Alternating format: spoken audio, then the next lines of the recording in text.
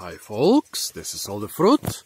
I'm in Tenom Agricultural Park in Sabah and here is some Baccaurea. Well, the sign says it's Baccaurea reticulata or tampoi. Well, tampoi is usually a name used for big fruited, round fruited Baccaureas. Well, here they have put a couple of fruit in plastic bags, but I think you can already see they are not round. Well, I guess they did not put those here in a plastic bag, and this looks a lot like Baccaurea angulata, which is not called tampoi, but Belimbing hutan or Belimbing merah. And even a couple on the ground. Well, it does not look exactly like Baccaurea angulata. It's less, it's less thick and less filled with juicy arils than Baccaurea angulata. But let's see what this Baccaurea reticulata actually tastes like. Hmm. Number one. Zero pollinated seeds, zero arils. Here you can see the little aborted embryos. Number two um, feels, feels a little bit better. Ah. But no, again, nothing pollinated. Hmm.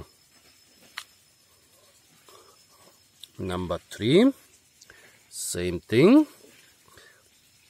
Number four, the biggest fruit I found on the ground. Huh.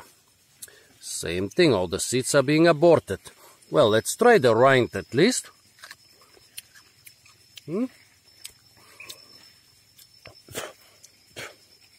Sour and perfectly edible, but nothing I would go out of my way to collect. Hmm. I wonder if those fruit here are properly pollinated and if they're gonna get any proper seeds out of them. I mean, they put them in plastic, but I don't know. This seems like it has happened already weeks ago, so it's possible that they did not know at this time if they were pollinated or not and it might be in vain. Well, no, this one is already half rotten. Well, so this Baccaurea reticulata will remain quite a mystery. I think I've had, I think I've seen pictures of Baccaurea reticulata which were different from this plant here, but I will check this later. So folks, if you have an idea what type of Baccaurea this is, is it Baccaurea angulata, is it Baccaurea reticulata, is it some different Baccaurea? Please tell me. Apart from that, stay tuned for a lot more fruit videos from the beautiful island of Borneo. And don't forget to like, share, comment and subscribe.